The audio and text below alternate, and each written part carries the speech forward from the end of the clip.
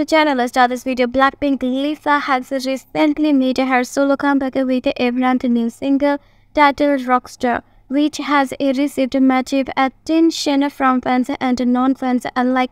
Moreover, it has also been reported that the K-pop stars will allegedly be performing her new song at the MTV Video Music Award 2024 which has created much excitement in the, the K-pop community.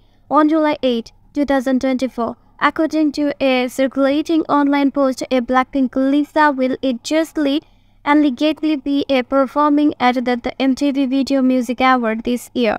Thanks for watching.